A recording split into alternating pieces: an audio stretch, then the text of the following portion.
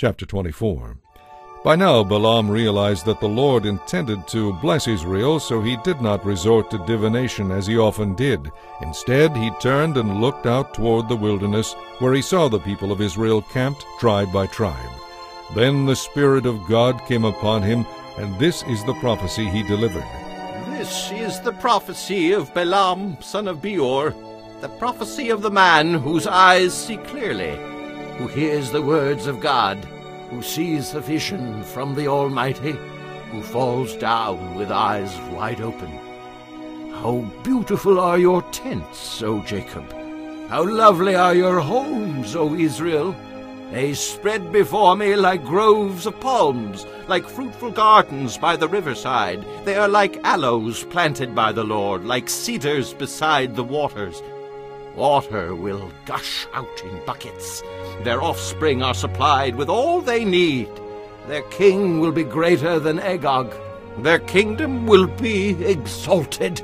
God brought them up from Egypt, drawing them along like a wild ox. He devours all the nations that oppose him, breaking their bones in pieces, shooting them with arrows.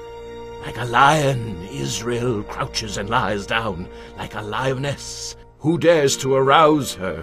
Blessed is everyone who blesses you, O Israel, and cursed is everyone who curses you.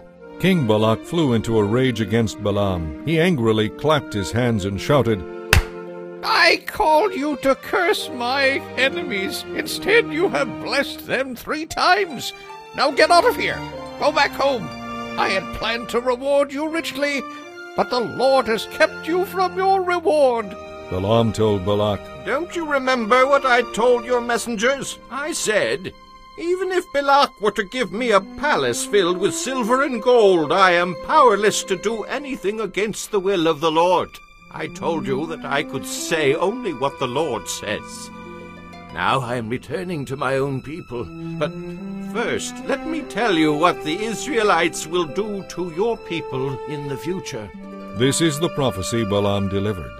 This is the message of Balaam, son of Beor, the prophecy of the man whose eyes see clearly, who hears the words of God, who has knowledge from the Most High, who sees a vision from the Almighty, who falls down with eyes wide open.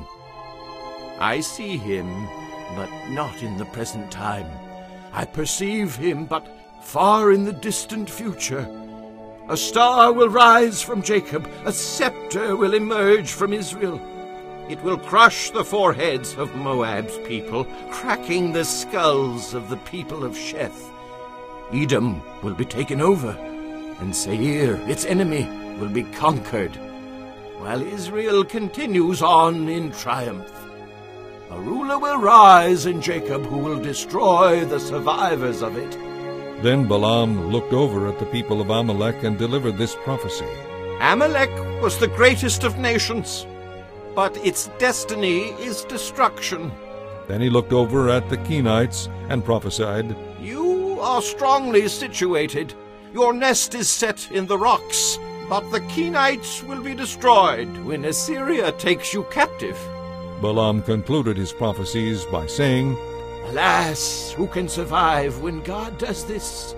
Ships will come from the coasts of Cyprus. They will oppress both Assyria and Eber, but they too will be utterly destroyed. Then Balaam and Balak returned to their homes.